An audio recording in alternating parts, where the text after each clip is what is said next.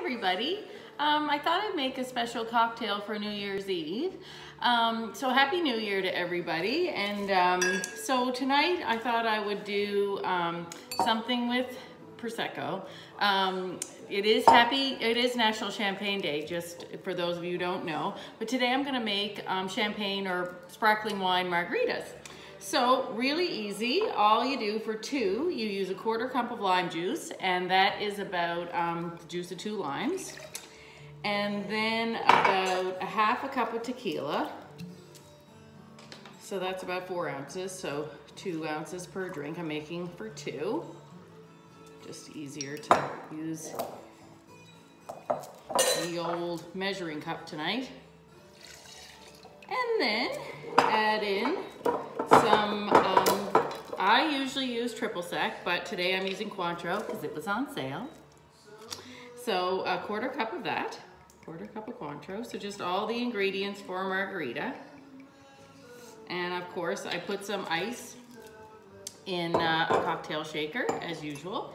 In goes the Cointreau. So just put a cap on that.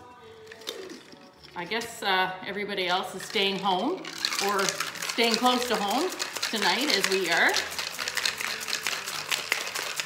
So uh, it'll be a nice quiet New Year's Eve, which actually we prefer anyway.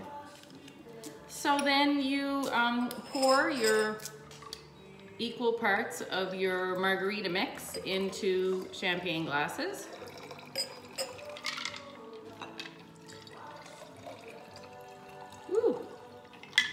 Is gonna be Interesting.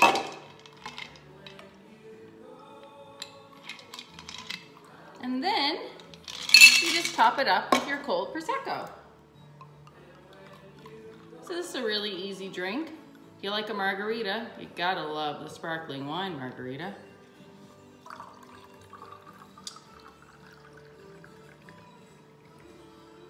So this drink goes to, of course, all my family and friends that uh, um, we love so dear. And also just wanna say that 2021 is gonna be a great year. It sure as hell is gonna be better than 2020. And uh, it's a big year for us class of 89ers. We all know why. So um, here's to all of us. Let's make it a big year. And I hope to see a lot of you um, in what will be a big year for all of us. Happy New Year to everybody. Cheers. Uh, looking forward to seeing you all in 2021. Have a good night.